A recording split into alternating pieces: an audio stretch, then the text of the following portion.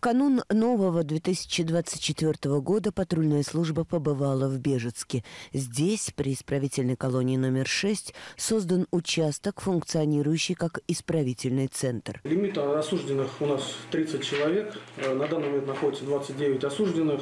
Осужденные все трудоустроены, привлекаются к труду. Участок при ИК-6 работает с декабря 2019 года.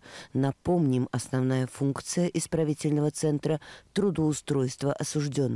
Принудительные работы назначаются на срок до пяти лет как альтернатива лишению свободы. Пребывание в исправительном центре может быть не только наказанием, назначенным судом, но и мерой поощрения тех, кто отбывает наказание в исправительных колониях.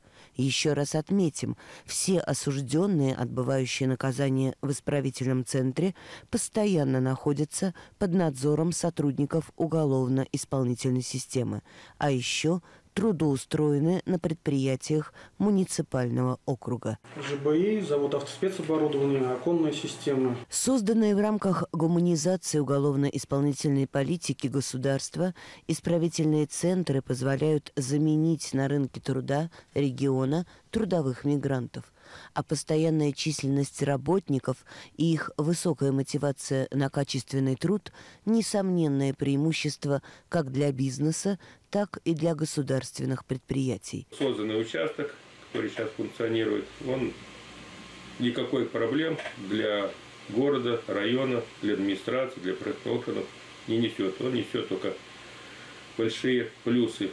Работают безукоризненно, значит, э, добросовестно.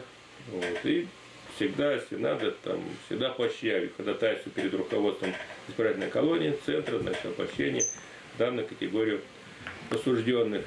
Вот такой благодарственной грамотой в канун Нового года поощрен осужденный Максим Сытько, трудоустроенный на Бежецком заводе железобетонных конструкций. А здесь я работаю уже полтора года.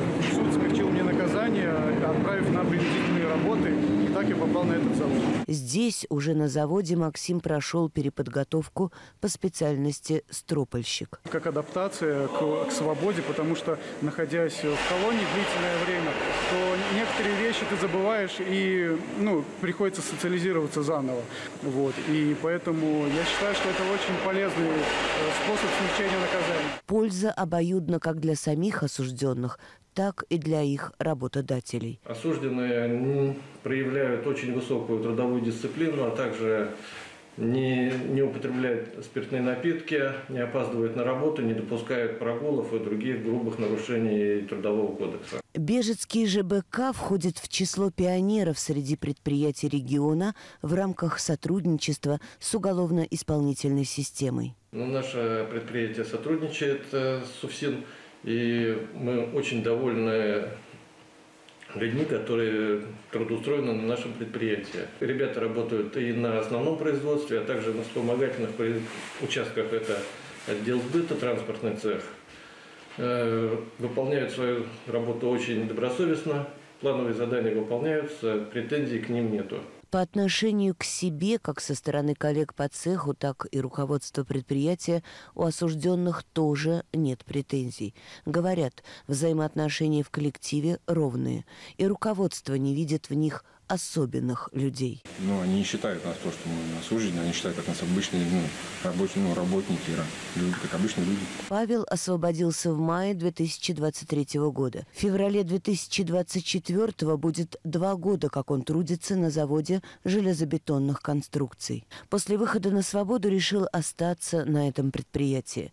Тем более, что именно здесь приобрел новые профессии. Отучился на крановщика и стропольщика. Можно сказать, что Уфиц при шестой исправительной колонии дал Павлу второй шанс и путевку в новую законопослушную жизнь. В Бежецке Павел нашел не только интересную, достойно оплачиваемую работу, но и любимую супругу.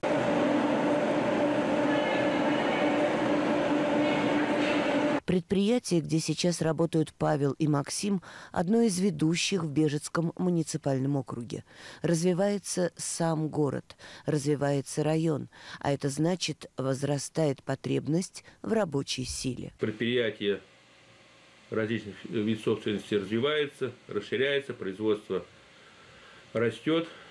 Вот. И вот эти руки, которые у нас есть, да, осужденные, которые бывают э, в центрах бессвязного лишения свободы, они нам нужны. Сейчас на территории Тверской области действуют четыре участка, функционирующих как исправительные центры. Два УФИЦ созданы на базе имущества предприятий Тверской области, два – на базе исправительных учреждений. УФИЦ ИК-1 с лимитом наполнения 50 и 91 человек. УФИЦ ИК-4 с лимитом наполнения 317 человек и УФИЦ ИК-6 с лимитом наполнения 30 человек. Не исключено, что с развитием в регионе новых предприятий число таких участков будет увеличиваться.